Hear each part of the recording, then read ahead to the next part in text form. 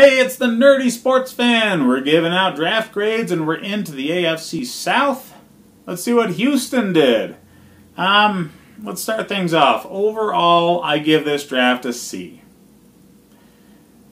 Um, yeah, I, I didn't agree with a lot of the valuation here. So, um, pick number 23 in round one, they went with Tytus Howard. I think they easily could have picked him up in the second round.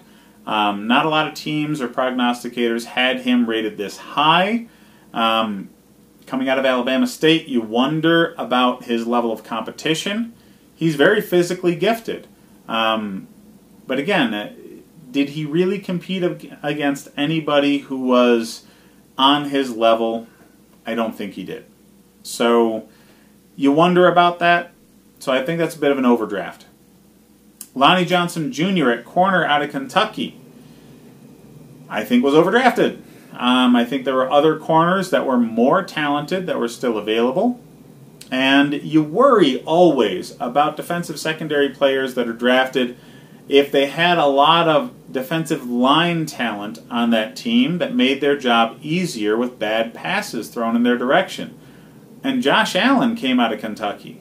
So you have one of the better edge rushers in the country making your job easier, I wonder if that's what made his statistics and film look as good as what they did. Um, Max Scharping, offensive tackle out of Northern Illinois, I think it was great value for where they picked him. Um, offensive tackle is a position of huge, huge, huge importance and need for this team, especially. Uh, their quarterback was on his back more than Vegas hookers, okay? And they needed to fix that. So, you know, Scharping is a great pick. Uh, personally, in my mock draft for them, I had them going offensive line with their first four because it's so important to this team. So having two of those top four picks addressing offensive line, needed and very smart. Um, Kahale Warring, tight end out of San Diego State. I just, there were other tight ends available that I had a much higher grade on. Okay?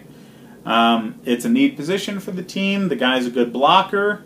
So again, you're addressing some serious need for this team, uh, but you, could have done better at that position with where you drafted him.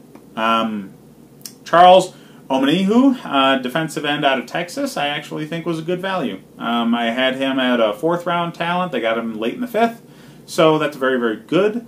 Um, but again, it's way later in the draft when you're getting value picks. It doesn't mean as much. Um, overall, the Texans did a good job addressing their needs. I just don't agree with where they valued these players. I, I think there were other people available at those positions that they could have picked up and done far better with pretty much all of their first five picks outside of Max Scharping.